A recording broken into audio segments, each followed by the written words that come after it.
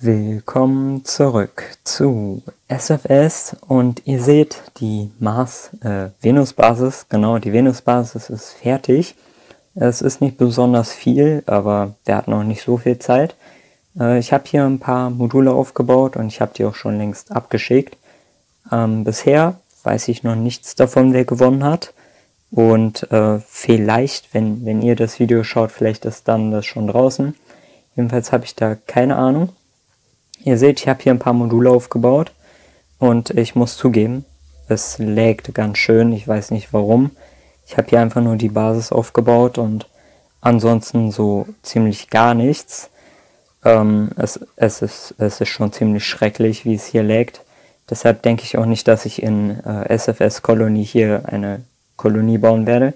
Das hier ist meine Testwelt drin. Das ist nicht SFS Kolonie, nur so, falls ihr euch wundert.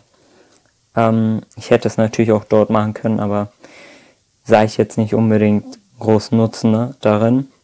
Und ich würde ganz gerne durch die einzelnen Module durchgehen, aber ich komme nicht auf die Karte, weil es, wie gesagt, es laggt total. Oh, es hat, es hat kurz geklappt. Äh, ja, lassen wir jetzt einfach. Ganz rechts ein Rover. Ja, das ist äh, ein Transport-Rover und mehr auch nicht. Also ich hatte nicht wirklich einen Nutzen dafür. Ich meine, das ist hier die Basis, die ist so ziemlich komplett. Und ich dachte, irgendwie einen Rover hinzufügen wäre ganz cool. Warum Transport Rover? Keine Ahnung. Ich hatte einfach äh, nur noch zwei Stunden Zeit und ich wollte noch irgendwas hinzufügen. Deshalb war es dieser Rover dort.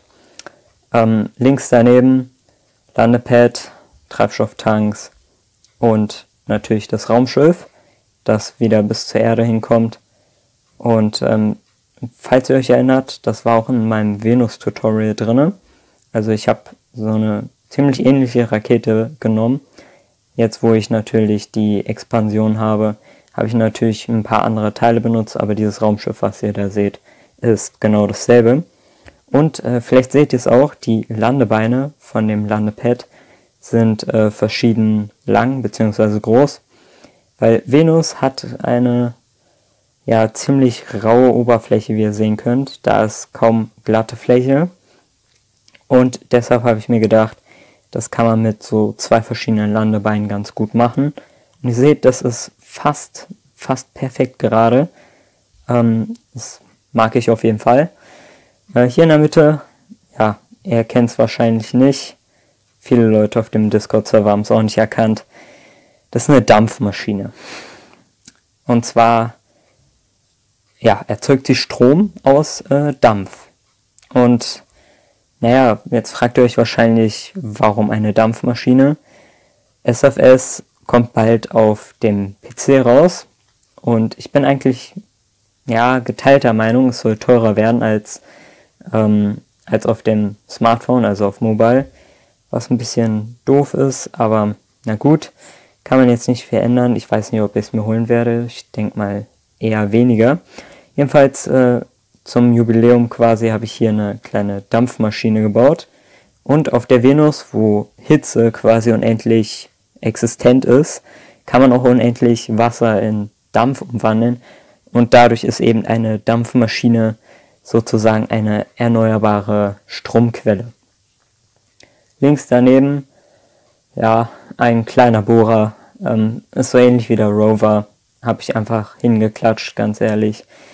Ähm, ja, was macht man mit dem Bohrer? Man sucht nach irgendwelchen Rohstoffen oder Erzen. Und da haben wir links daneben, wie ich sie nenne, äh, die Stacks, falls ihr Ready Player One kennt oder so. Ähm, da gibt es so äh, einen Ort in Ohio, und äh, da sind so ganz viele Wohnwagen aufeinander gestapelt und das war die Inspiration dafür. Wir haben unten die vier irgendwelche Module. Oben rechts haben wir dann so einen kleinen Aussichtsposten, also wo man dann auch Sterne und so beobachten kann. Und links daneben natürlich Kommunikationsturm, also verschiedene Größen an Antennen und an Satellitenschüsseln. Ja, Leute, das war's auch mit der Folge. Ähm, viel mehr habe ich nicht gemacht. Ähm, sobald die Gewinner rauskommen, ähm, ich weiß nicht, ich glaube, ich mache dazu kein Video. Ich mache das nur als Community Post, ähm, wer dann gewonnen hat. Ich denke mal nicht, dass ich gewonnen habe, aber ich war dabei und äh, das ist so ziemlich alles. Ich habe ja auch schon ähm, die Expansion, also brauche ich die nicht wirklich.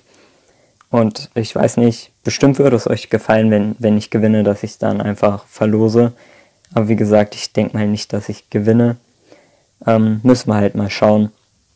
Jedenfalls war es das mit der Folge, Leute. Ich hoffe, es hat euch gefallen. Wenn ihr mehr wollt, lasst ein Like da und ein Abo, um nichts mehr zu verpassen. Wir sehen uns dann im nächsten Video wieder. Tschüss.